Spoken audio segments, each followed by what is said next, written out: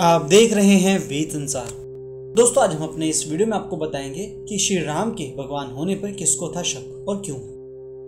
लेकिन दोस्तों से पहले अगर आपने हमारे इस चैनल को सब्सक्राइब नहीं किया है तो आप इसे जल्दी से सब्सक्राइब कर लीजिए, ताकि आप हमारा अगला आने वाला वीडियो सबसे पहले देख सकें। और दोस्तों, साथ ही आप बेल आइकन को दबाना ना भूलिएगा, ताकि नए वीडियो की नोटिफिकेशन आपको सबसे पहले मिल सके। जैसा कि हम सभी जानते हैं कि रामायण हिंदू धर्म के प्रमुख ग्रंथों में से एक है। जिसके बारे में बहुत से लोग जानते हैं और मानते भी हैं। हिंदू धर्म के इस ग्रंथ के रचयिता तुलसीदास जी हैं।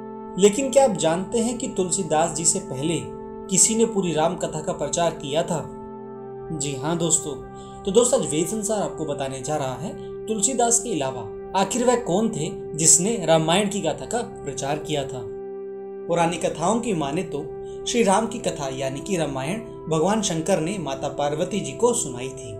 बता दें कि जिस समय यह गाथा माता पार्वती को सुना रहे थे, ठीक उसी समय वहाँ एक कौवा आ पहुँचा और पूरी कथा सुन ली। ऐसी मान्यता है कि उसी कोए का पुनर्जन्म काग भुक्षंडी के रूप में हुआ था, जिन्हें पूर्व जन्म में भगवान शंकर के मुख से सुनी राम कथा पूरी याद थी। आइए बात करते हैं रामायण का नाम कैसे हुआ विख्यात। कहते हैं कि भगवान शिव ने यह कथा अपने शिष्य को सुनाई थी। और इस तरह भोलेनाथ के मुख से निकली रामायण की जीवनी पर आधारित यह पवित्र कथा अध्यात्म रामायण के नाम से विख्यात हो गई। राम कथा का प्रचार प्रसार जोरों से हुआ और भगवान शंकर के मुख से निकली श्री राम की पवित्र कथा अध्यात्म रामायण के नाम से लोगों में विख्यात हुई। काग भुक्षंडी कैसे बने कोवा? सबसे पहला सवाल यह है कि आखिर कागभुक्षुंडी कौन थे और वह कुआ कैसे बन गए? बता दें कि कागभुक्षुंडी का रामायण की गाथा से रिश्ता लोमश ऋषि, परम तपस्वी तथा विद्वान थे। वहीं इन्हें पुराणों में अमर माना गया है। आपकी जानकारी के लिए बता दें कि लोमस ऋषि बड़े बड़े रोमों वाले थे।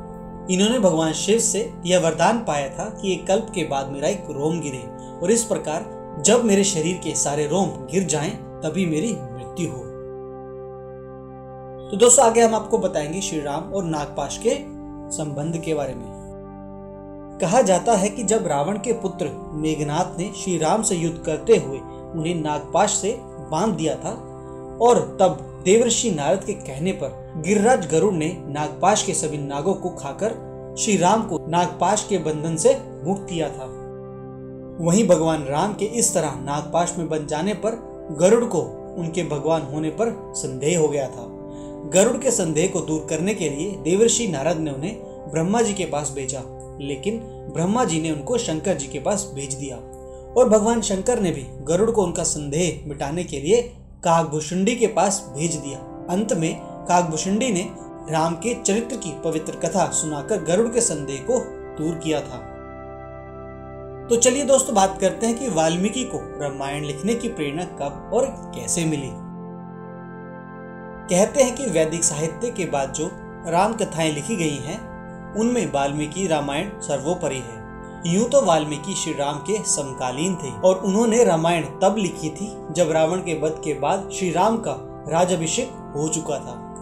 एक दिन की बात है, जब वह वन में ऋषि भारद्वाज के साथ घूम रहे थे और उन्होंने एक बाघ द्वारा पौंच पक्षी को मारे जाने की दिल दुखाने वाली घटना देखी और तभी उनके मन में एक श्लोक फूट पड़ा।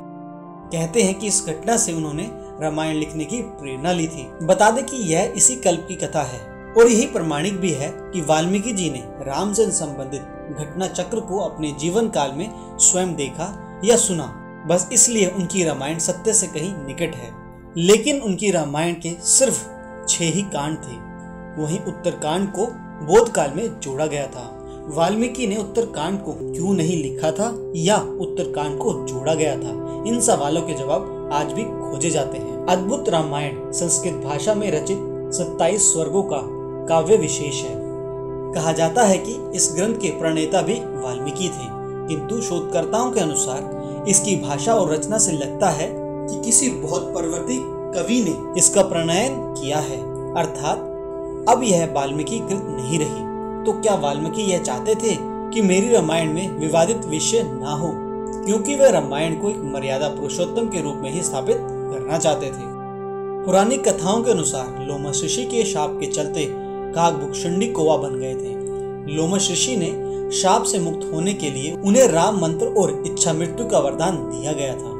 दूसरी ओर कोवे के रूप में उन्होंने अपना संपूर्ण जीवन व्यतीत किया। वाल्मीकि से पहले ही काकभुक्षुंडी ने रामायण की राज गरुड़ को सुना दी थी। तो सारे भक्तजन मिलकर कहें, जय श्री राम।